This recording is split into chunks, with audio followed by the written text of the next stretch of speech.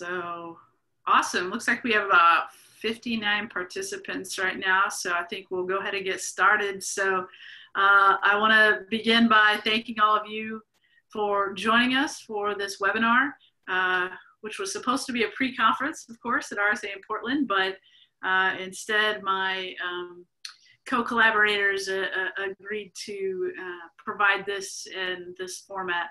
So we hope it's a productive conversation. And I'm Karma Chávez. I am the chair of the Department of Mexican American and Latino Latino Studies at the University of Texas at Austin. And um, I uh, will introduce my other panelists in just a moment. I want to uh, make sure to thank our sponsors, the University of Illinois Urbana-Champaign Center for Writing Studies and the Department of Communication. Uh, and also just to note that we are recording the session. Again, we are recording the session but only uh, the panelists are going to be visible um, and um, throughout.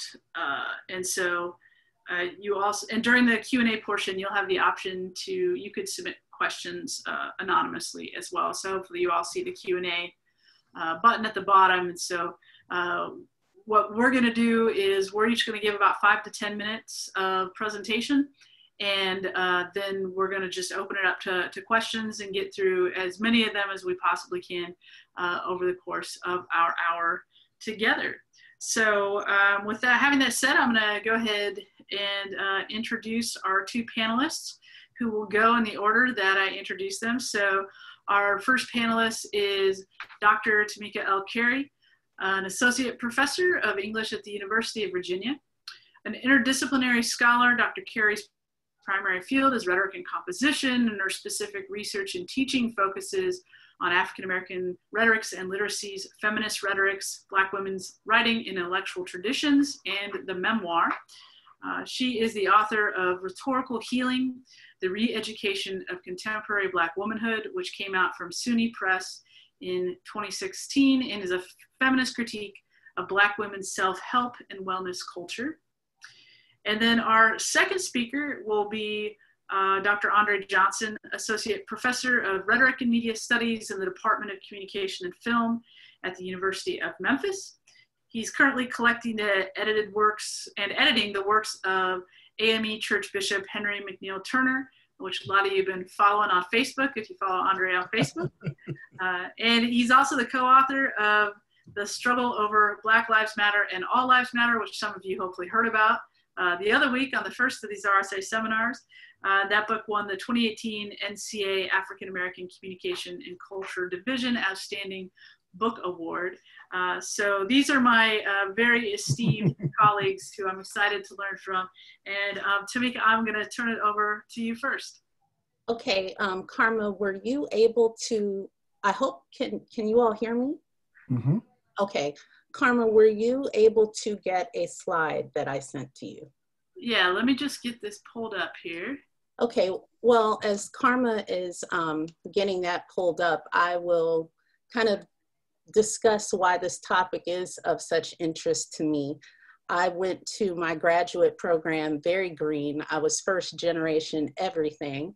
I did not really understand what a life commitment, life altering commitment it would be to pursue a PhD eight hours away from family. I wasn't sure exactly how long the process would take or how um, little control I would have over the job market. I thought I could just run up to Syracuse for three or four years and come right back to Virginia. And so um, I wanted to give that context, but um, the remarks uh, okay. Well, I'm trying to get permission to share my screen here. Ah, we do need that. Hopefully you have that. Um, the remarks that I wanted to share today um, are drawn from both best practices that I've observed and problematic um, practices that I have witnessed and encountered. I'm not sure if my screen is stuck is, okay, so we're back. Um, again, I am speaking from both uh, best practices and uh, some of the things that I've witnessed. I found a lot of resonance with the original call for last year's or 2020 RSA on hospitality. And so I thought that I would kind of talk my way through a couple of bullet points about um, this imperative to be hospitable that I think uh, conscious graduate programs, communication studies, and English departments would be wise to lean into. So if you could uh, project me one slide over.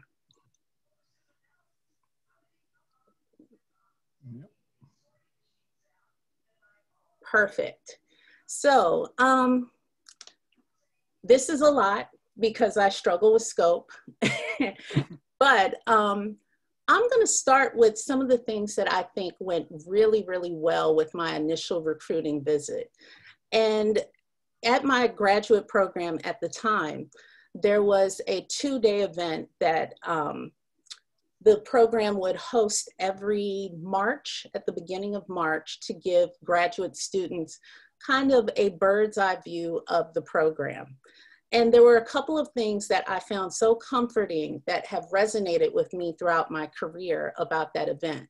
The first, as I said, is a first gen uh, scholar of color who came out of an MA program where there was no formalized discussion of what we would do after we completed our master's thesis.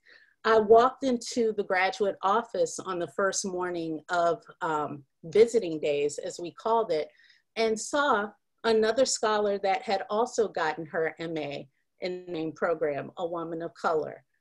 And then there was another scholar there, a Puerto Rican um, scholar, researcher who have become lifelong friends.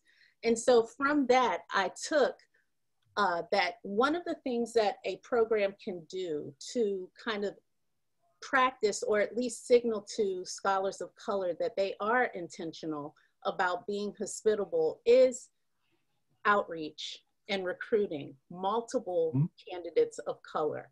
I think we've read so many narratives about the one uh, scholar of color who finds their way into a graduate program, how that singular experience can kind of foster imposter syndrome and all of these other negative consequences. And so just walking in and seeing these two women was so comforting to me. Um, a second thing that I found, and I'll, I'll say that this is kind of an offshoot of that commitment an obvious commitment on behalf of the graduate committee that year, and perhaps a pool that allowed them to do that, is um, that scholars, or better said, departments would be wise to start building in a clear, identifiable focus into the architecture of their curriculum that makes space for scholarship and research by and about people of color. Um, again, I came in with a cohort. There was another woman of color. I was very happy that I was not alone.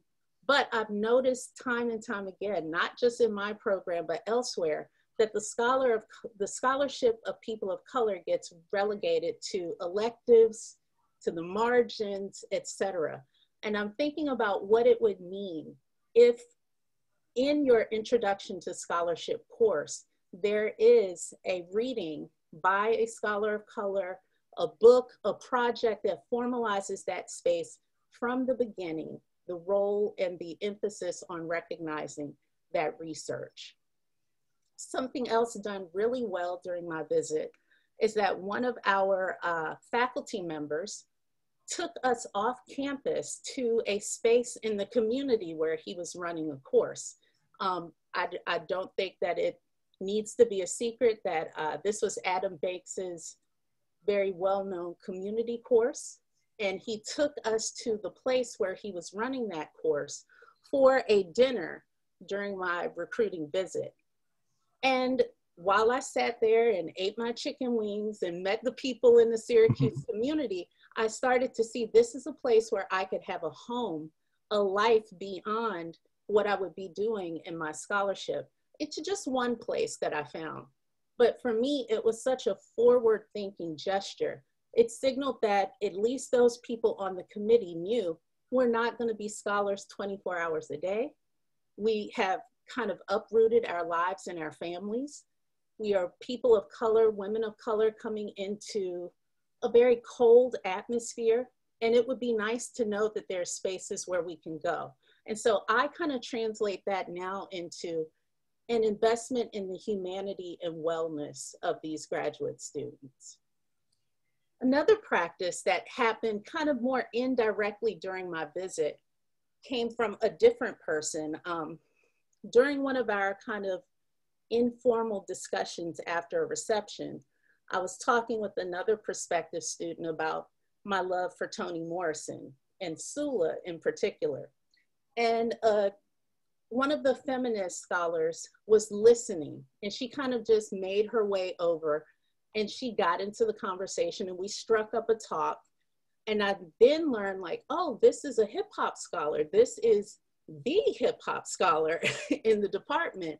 And so in a very kind of non non essentialist way that kind of informal moment where we could talk and kind of build conversation became so useful that professor became my dissertation director my mentor my friend and I appreciated that moment of her not making a direct beeline for me because graduate students get in our heads. We think, you know, one conversation with a professor and we're betrothed to them for the rest of our career. And so the kind of indirect way that she kind of let things happen organically, um, while also, once I took her class, being able to articulate a vision, being able to say, I think you should apply for this conference.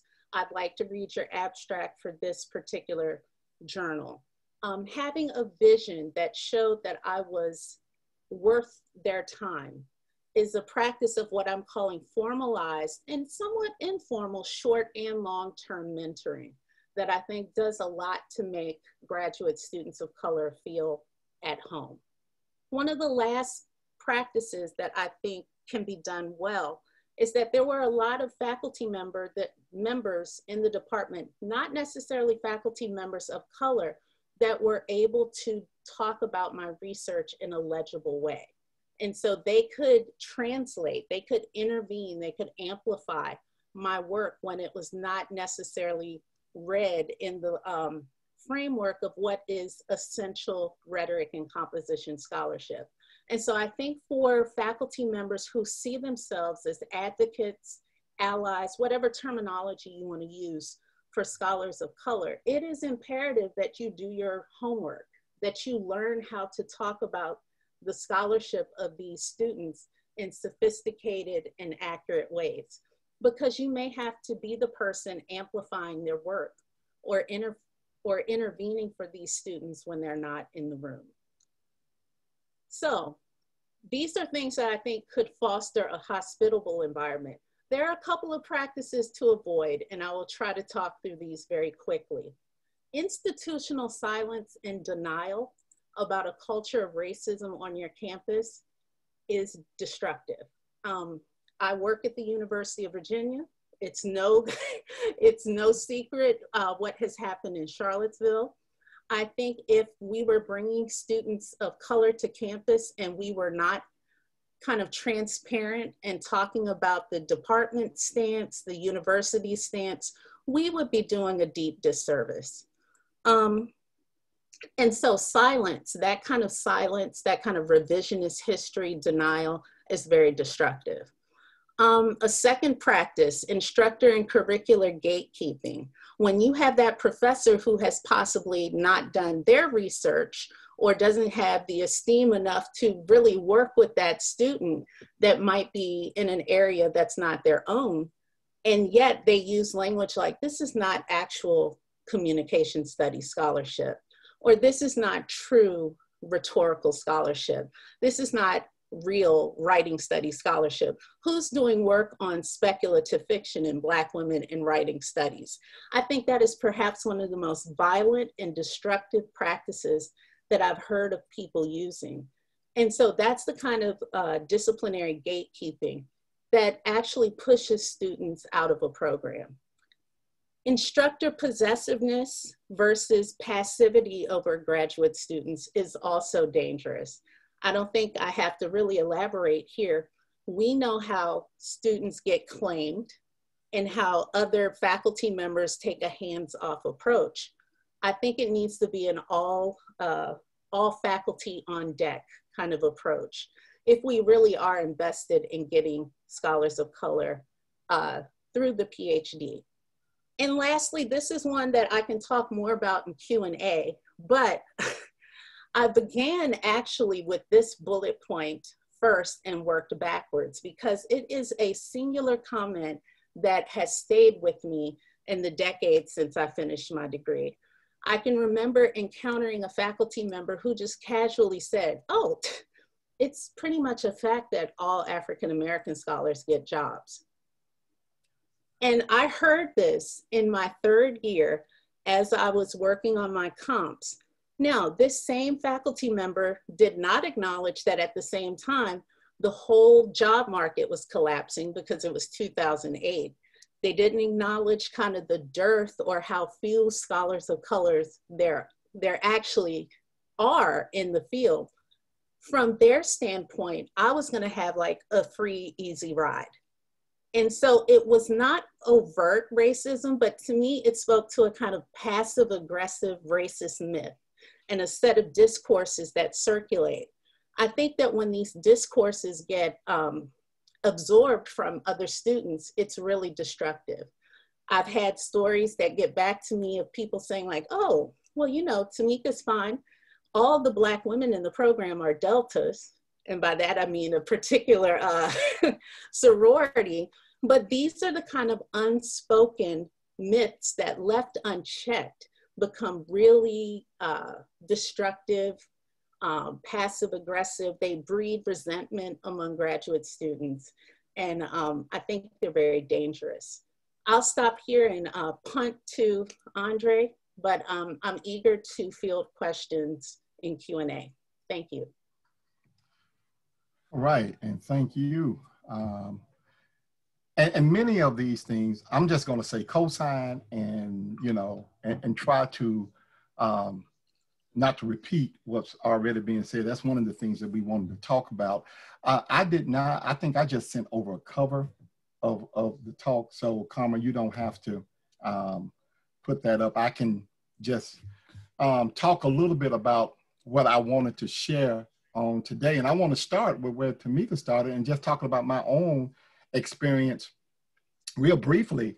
Uh, I am, I mean, I, I when I share my story, I tell folks I literally walked off the street. I didn't know anything about uh, a PhD in communication, didn't know anything about rhetoric. That I walked off the street. John Campbell, never forget it. Um, um, set up an appointment, and I'm coming into his office, and I told him what I wanted to do or what I thought I could do, and um, John Campbell, I never forget it. He said, "Brother, I've been waiting on you." And I'm like, what are you talking about? You know, um, because I had been at Memphis Theological Seminary. I just finished my uh, Master's of Divinity degree. And I'm just asking, can I enroll here with this MDiv? And he had been, and he shared with me basically like, I've been going to that seminary and recruiting and, you know, each and every year with my cards and my my brochures and and all of my wares. You know, if you know John Campbell, but um, and I have never gotten a response. They, they everybody's cordial, but nobody has showed up. And here I come off the street, literally into his office and saying, I want to do this. Um, make a long story short, we uh, started, and uh, another person with me, Frank Thomas, that some of you might know, who's running a PhD program now in African American preaching and sacred rhetoric at Christian Theological Seminary right now. Um, we were that part of my cohort, and um, and back in 2008 we finished. Uh, I'm I'm like Tamika. That was the year that you know where were the jobs, right? Um, but Memphis Theological um, had a position uh, like a postdoc. I took that, and as they say, the rest is history. I stayed there for seven years. Um, had an opportunity to um, really started to do work in rhetoric, race, and religion, which I do um, currently now. And then uh, when the job opening came open at the University of Memphis back in the fall of 2015, um, I, at the last minute, um, sent in my application like at 11:48 p.m. on the last day because I was still wondering, you know, do I want to, you know, give up the tenure here and go back? I mean, all of that stuff. And and I finally decided to do that. And uh, I'll never forget the the final interview. You know, you go to these interviews, and um, I I told them, I said, this is what I would like to do. Here's because I knew my background, I knew the people I had been talking to, I knew the interest that was out there and all of that. They were making a promise to me, and that's maybe one of the things that you, you when you are um, recruiting and when you're talking about faculty, especially when you make a commitment that you say, "Hey, we want this. We would like to have more African American students. We in the city of Memphis is 70% black. I mean, went through all of those, urban university, and your uh, position is African American rhetoric. When you say that, I'm going to hold you to your words, and I'm going to say this is what I am going to do. So, basically, uh, when I started in fall of 2015, um, we began um, with um, Tony De Velasco, who was our um, director of graduate studies at the, um, at the time, began to um, and this is the word that's going to keep coming back intentionality. Begin to intentionally try to recruit students of color. But for the position that I was holding, I was focused on African American students or people who are self identify as Black. So um, when we began to do this type of work, um, the first thing that I wanted to do was to um, look at what has happened previously. I came out of the program. I knew Frank came out of the program. But what about anybody else? I wanted to go back because if you're trying to be intentional, you have to see what you have done, what you're doing now, and then what you hope to do in the future. So we went back and found that we actually had a foundation to work from. Um, for instance, um, Eletra, Gilchrist Petty now um, was the first African American students to graduate in our PhD program at the University of Memphis back in 2004. Frank and I became the second and third. And up until that point, we've now have 14 um, African American students who have graduated from the PhD. We don't know about MA yet. We're still trying to put those numbers together. MA program has been a little bit longer. But since 2000, we've graduated 14 African American students in our PhD program which is, I mean, if you think about, I think we had 80 total, so that's roughly about 17.8% or whatever.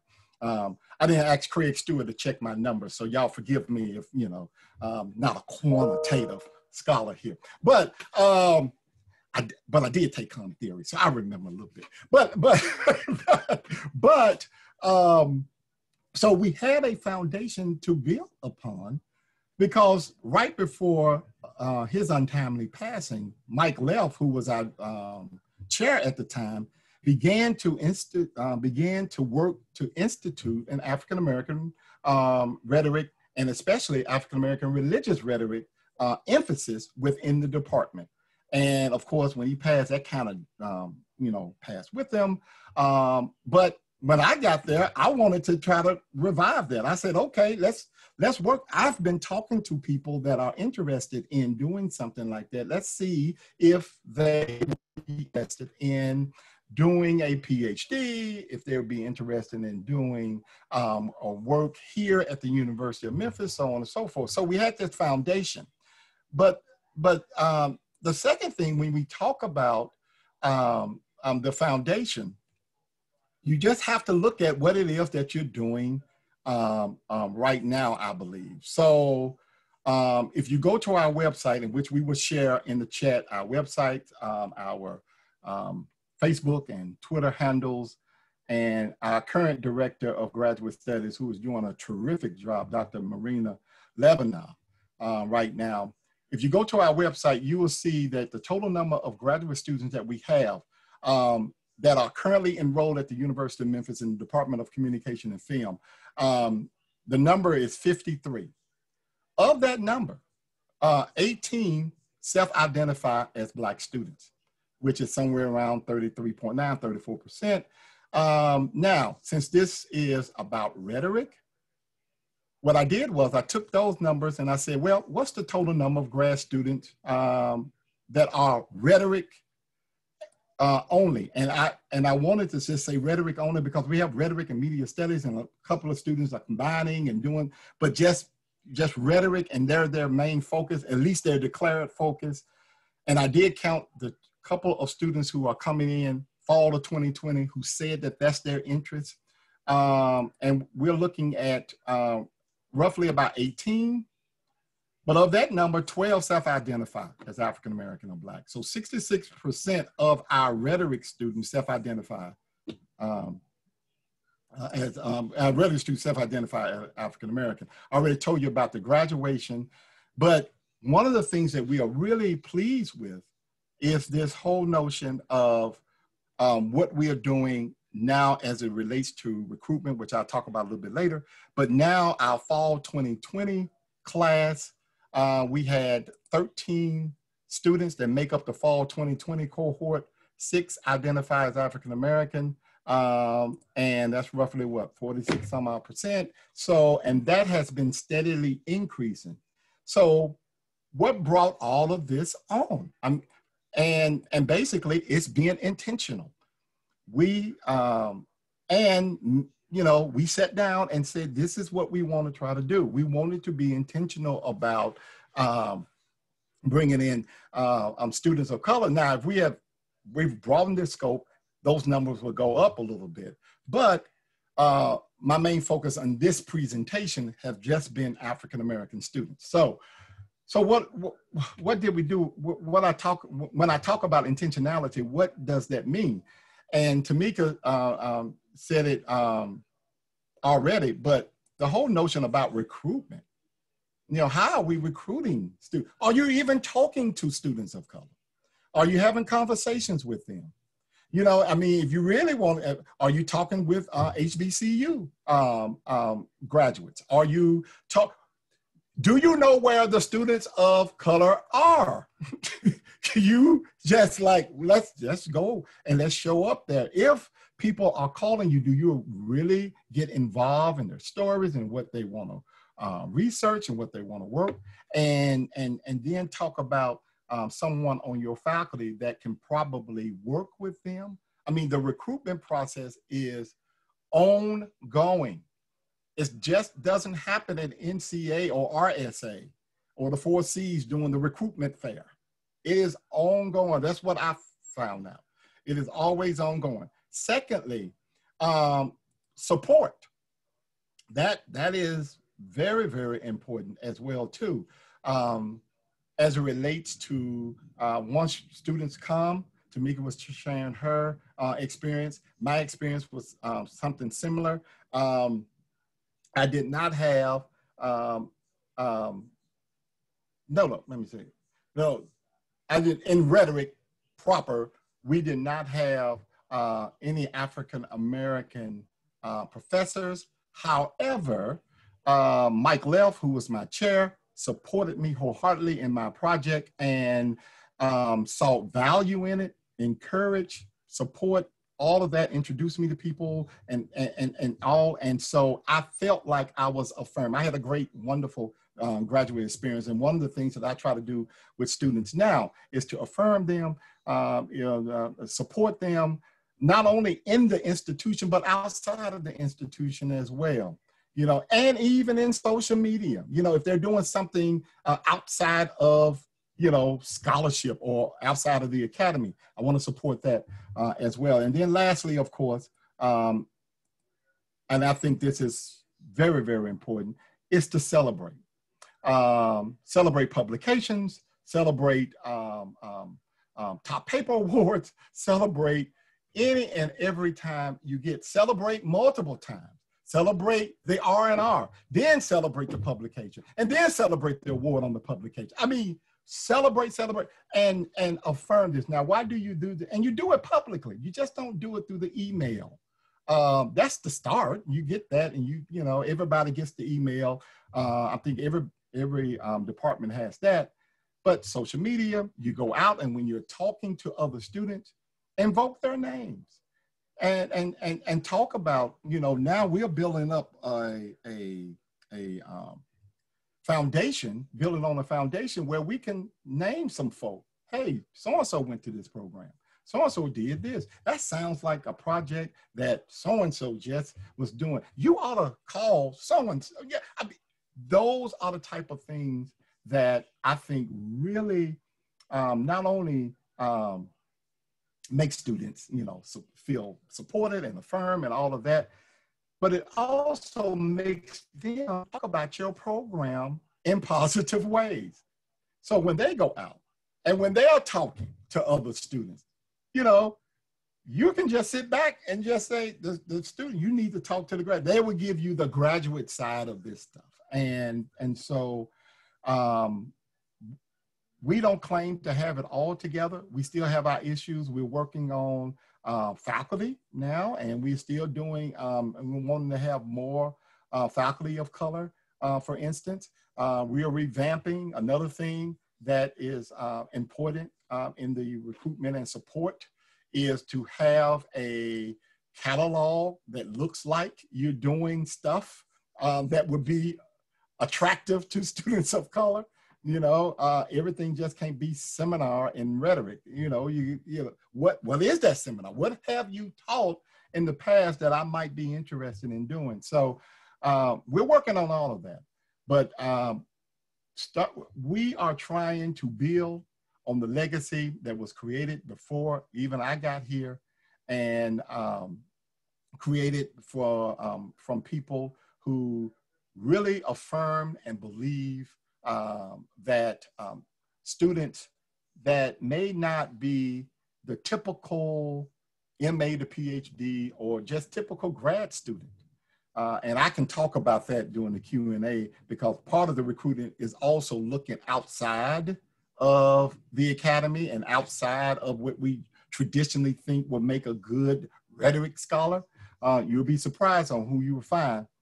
Um, uh, but we can talk about that in the Q&A. But when we, what we're trying to do is build upon that and, and to continue to build. And I think momentum has already started and um, um, I'm excited to uh, be a part of the University of Memphis and the Department of Communication and Film. And I just want to, uh, again, just shout out all of my colleagues and people who are working tirelessly to try to rectify uh, a whole lot of stuff that we always talk about but also now being intentional about it. Thanks. Thank you, Andre. Thank you, Tamika. Uh, lots of wisdom there for folks. Uh, I'm going to just spend just a couple of minutes running through a couple of points I wanted to raise. And, um, you know, while I'm doing so, if folks want to start adding uh, questions, uh, so we can be looking at them on our end, uh, and uh, then I'll start facilitating that. You should be able to post your questions anonymously. If you can't for some reason and you want to ask an anonymous question, you can send it to me uh, privately and I won't say your name. So, but I think you can post anonymously. But I'm gonna um, just uh, share my screen here and talk through just a couple things real quick.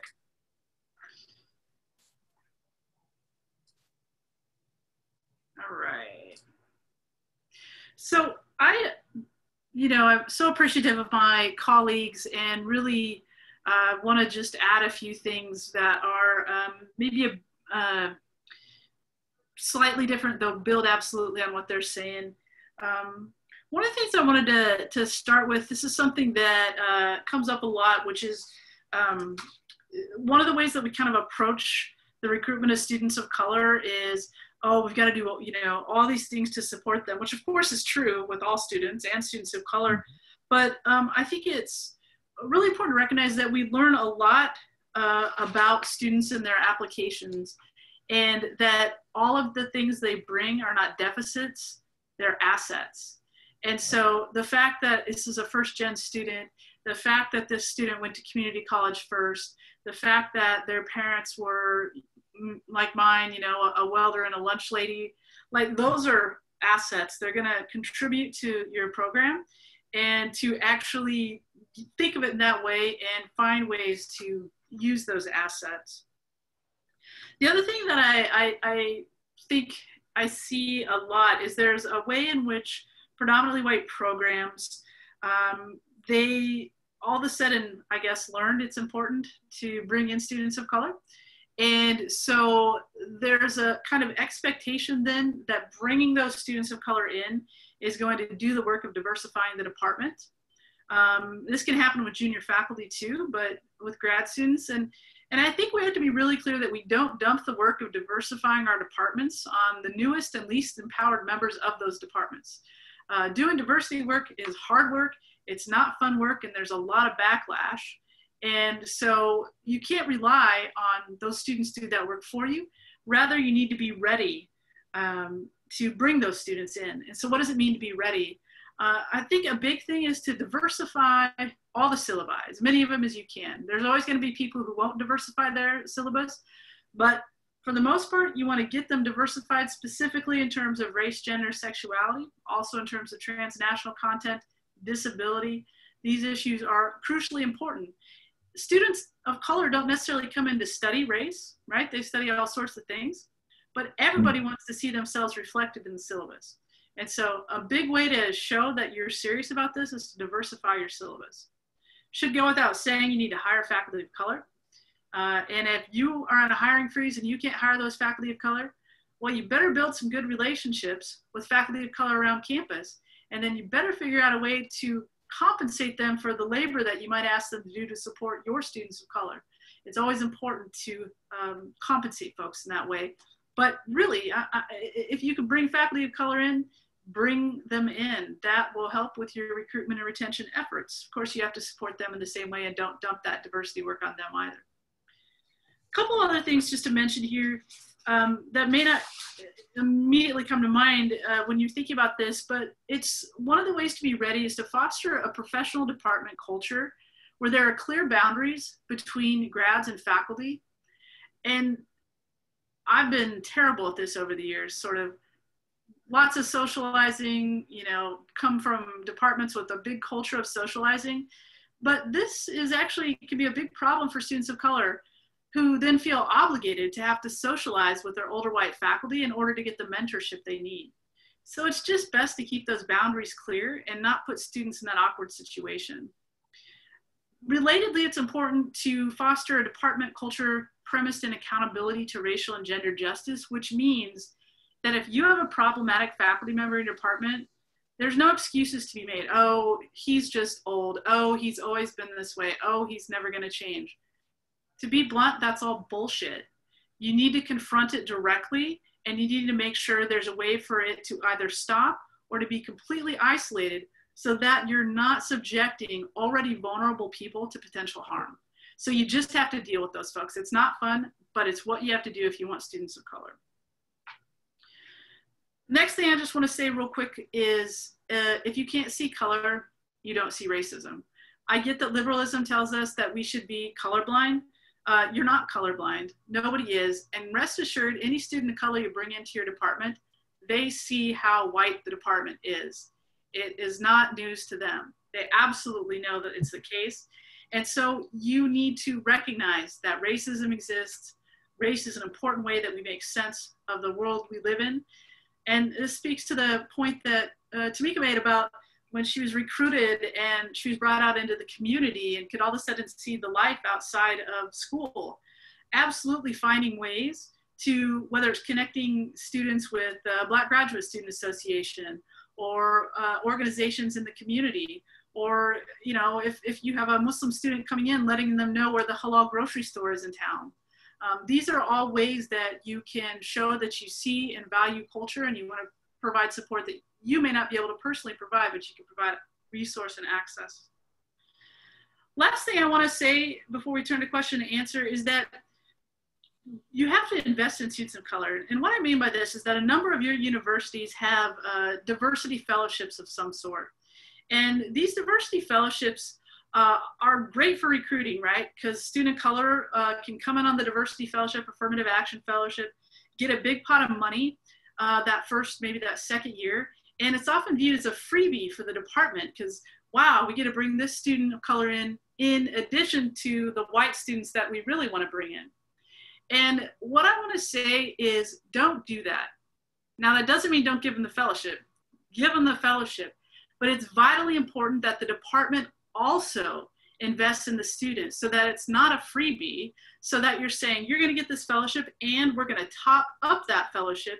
And when that fellowship doesn't exist, here's all the resources the department is going to give you. That is both materially and symbolically important because where your funding comes from, that speaks to you as a student of color. And you know, if you're the student who gets that, you think, oh, of course, I, you know, they, they brought me in on that fellowship.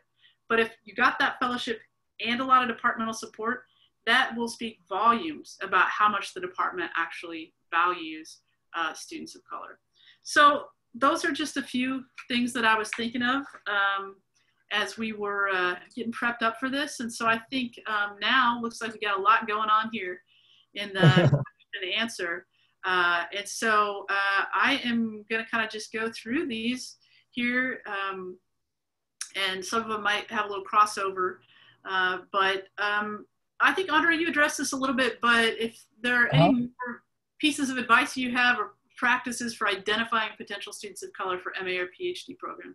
Right, yeah. Um, uh, one of the things that um, that we had talked about, we have not uh, launched it yet, um, formally, informally, we have, um, is, is what I mentioned earlier about HBCUs and HBCU graduates. If you are um, looking um, to reach more African American uh, um, students, also, again, outside of in the community, outside of the community, the Black church is full of um, um, potential um, um, students if if that's you know where you want to go. Other places, um, community centers. Uh, I, I, love what you just said, Tamika, about you know Banks's program. Those are programs all that are different and in different cities all the time, um, and and people um, are looking, and you'll be surprised on how many people are interested in coming back to school and wanting to go to school or finish school, um, even if it's an undergrad degree, and then they um, stay around for MA. Um, you know, those are the type of things that that you know that's kind of like outside the box or anything like that. And also another thing that I have done is, you know, I've opened myself up and I make myself available to try to talk to anyone, to give out the basic information the best that I can. Um, um, places that I go, um, what people see that I, what I do. They ask me about what I do, how I do it. Uh, I share that, and um, and we begin to have a conversation. Um, some of the students that are in our program right now, um, myself and other faculty members talked to them first three years ago, um, and now they've you know decided that this is the program for them. So. Uh, those are the type of things that I'm talking about. Just being available, just being open, and not looking, I love what you said, Karma, about not looking at the life history and story as deficits, but as pluses. Just like, hey, I would be excited to have you into this program, and let's see what we can do to make that happen. Um, I'll jump in here and mm-hmm. also say that um, this is something that I've had cause to think about recently. It's just been the trajectory of my career that even though I'm cultural rhetorics, I end up in places where I'm the first person doing this thing. And so my graduate students don't look like me per se. You know, uh, I'm just now to the point where we are recruiting, and, and at UVA, we recruited five Black women into our PhD this year. And so I'm excited about that. But I also have all of my students whose content won't look anything like what I do. But I am kind of self sufficient enough in who I am as a scholar and as a teacher that my students don't have to look like me. They are rigorous thinkers, they have methods. And so, in that way, I can build those relationships. I think when well intentioned faculty develop this kind of like, oh, well, I'm also, I'm not an African Americanist. I'm not a Latinx scholar. So there's nothing I can give you. That creates the isolation and almost abandonment that also push students outside of the program.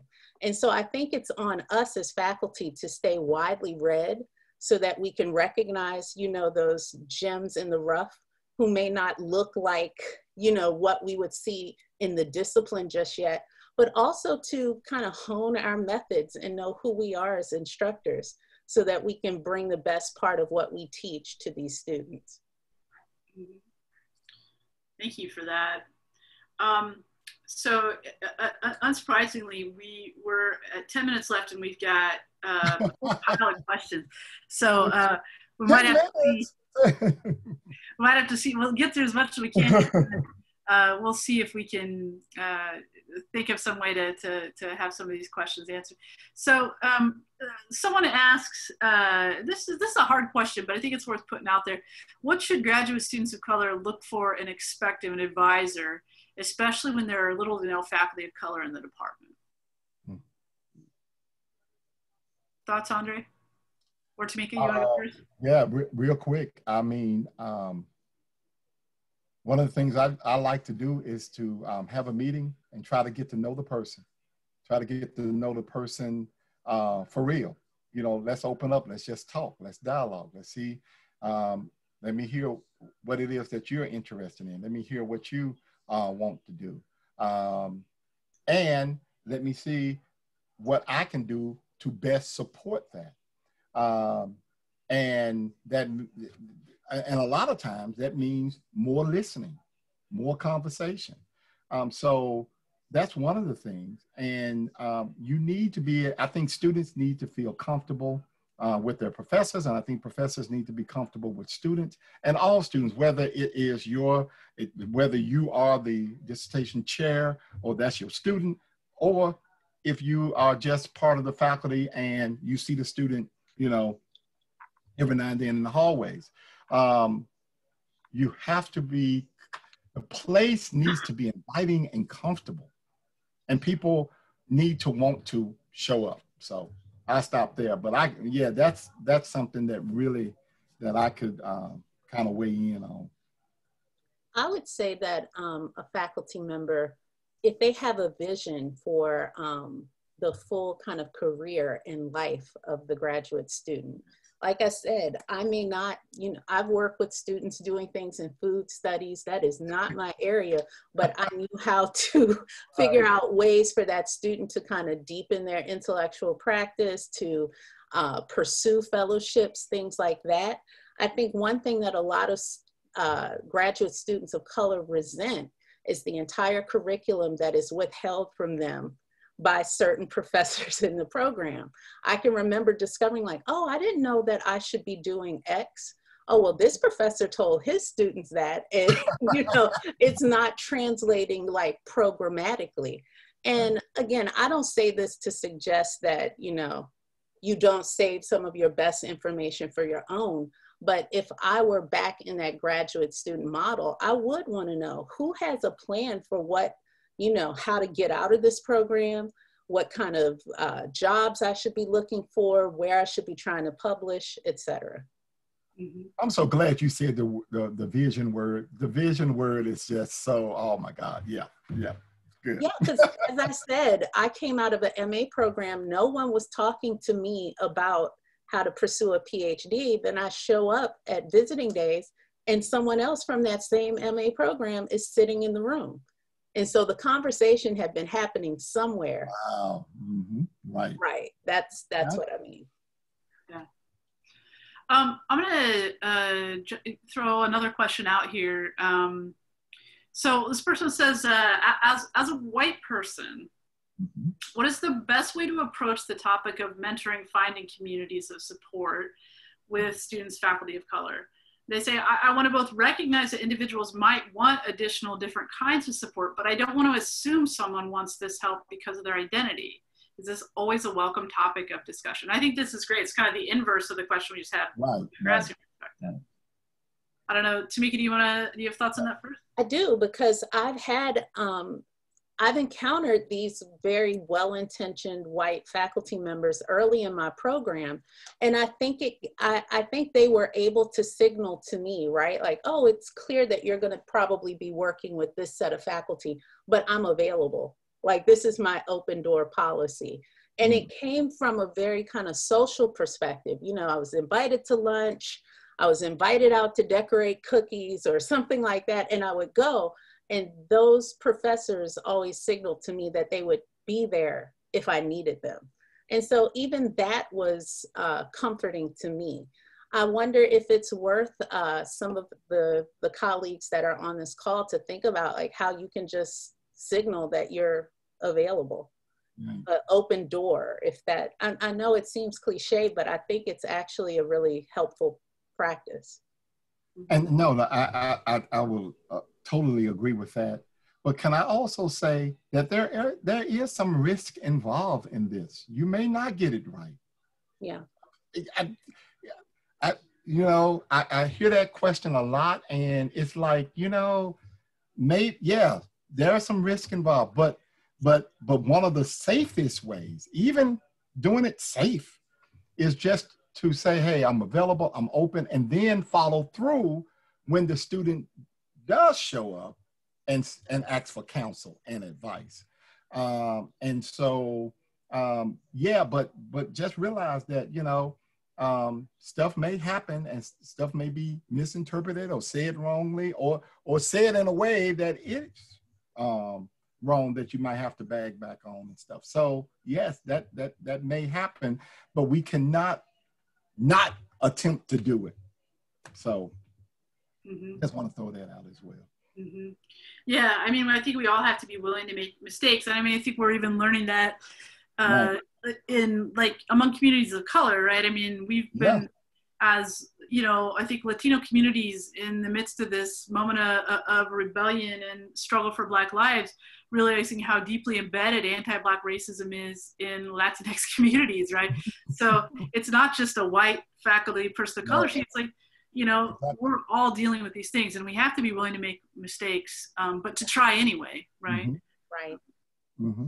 so and, and but that goes back again to the inviting culture to have to allow for those i mean if, if the culture is already toxic then any little mistake is going to be magnified right but if, if if you are trying to promote a healthy culture in the beginning um, maybe you can sit down and talk and get an understanding like, oh, okay, uh, I didn't hear it that way, but you know, I take you for your word. Let's go, let's move, and you know, we're gonna keep on working. So yeah. Yeah, yeah. So I'm gonna throw this. This is a very, very timely question that I, I want to throw uh, to you. So this moment, COVID moment, we're all virtual. Departments yeah. are being asked to do recruitment through little video ads. But so many of the issues we're talking about here require much more than a little video approved by university marketing. So, how do we reconcile the difficulty of recruiting without personal in person connection with this need to market ourselves, especially in this moment? Seems like Andre has something to no, share. No, no, no. I, I, think it's a great moment, but go ahead. no, I, you know, we just finished our recruitment window like three oh. days before our, our campus shut down. Wow. So, I was I was punting back to you, Andre. Oh no no, I okay. Just off top of my head, I think this is a uh, a golden opportunity to do some recruiting. What we're doing now is recruiting. What what your department can do is recruiting. Uh, um, when your new books come out, you can do Zoom now and talk about your research. You can reach more people than you probably would reach if you just invited them to a luncheon, for instance, in person. Uh, I think that if you, I mean, the sky's the limit. I think it, it is time for us to become real creative with our social media, with our um, um, media more broadly, uh, our podcast, all of that. I mean, we we can talk about specific issues that are germane to the current climate that is going on right now. Um, so I, I, I, I, think that we could do a whole lot um, um, outside of the single, you know, video and, and, and things of that nature but let's let's just talk about what does it mean to be in rhetoric proper and just have that going on and on. I, and and um, um, I think that people will reach out and want to talk a little bit more. Hey, I was interested in what you were doing, um, and that's one of the things though that some of us have an issue with. And you know, talking about what we do and what we write and how we do it and all of that. But you know, um, maybe get somebody else on the faculty to help you and just promote you know some of the stuff that you do because this is what people are interested in. And if it's something that you're doing that, you know, I got an interest in, yeah, I want to come to, to that school and, and, and work with that person or work with those people because they seem like they're inviting and caring. And um, I think I can do what it is that I feel like I need to do. So. I just think it's a great, I, I think we need to open, just reimagine what it means to recruit.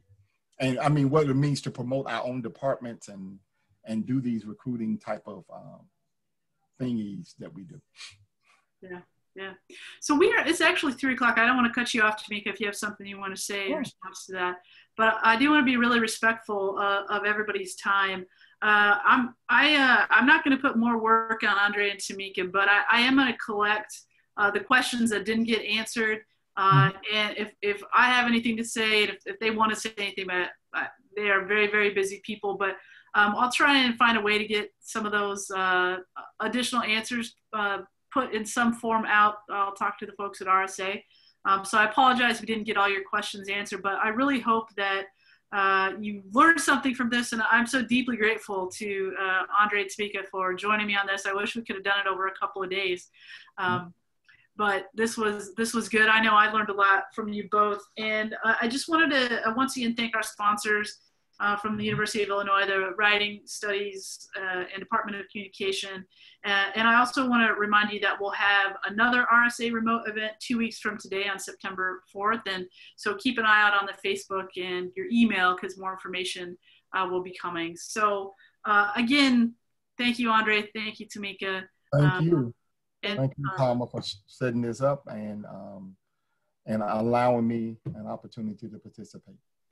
Always love to hear from both of you. so, all right, everybody. Thanks so much. Happy new academic year. Yes. Yeah, good luck. all right. Bye, y'all. Bye bye.